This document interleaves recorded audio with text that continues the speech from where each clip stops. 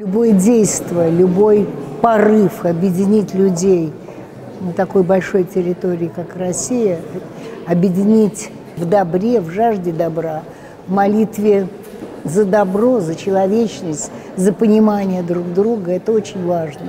И каждый, кто примет в этом участие, он присоединится к необходимости мира на этой очень грешной земле. И я очень рада, что этот марафон будет, и буду принимать в нем всяческое участие.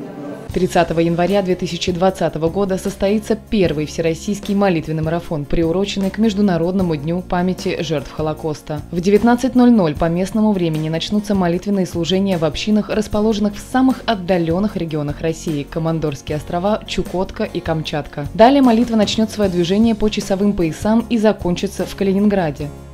30 января с 9.30 до 21.30 будет осуществляться трансляция молитвенного марафона через интернет. Она будет включать в себя прямые трансляции с молитвенных служений, интервью с лидерами еврейских общин и организаций и с пасторами евангельских христианских общин, а также различную информацию из регионов. Каждый христианин России и не только России сможет присоединиться к молитвенному марафону через его трансляцию на сайте marathon.zovsiona.ru.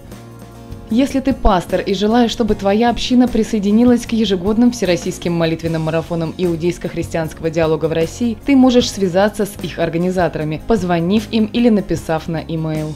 Благословлен, благословляющий Израиля.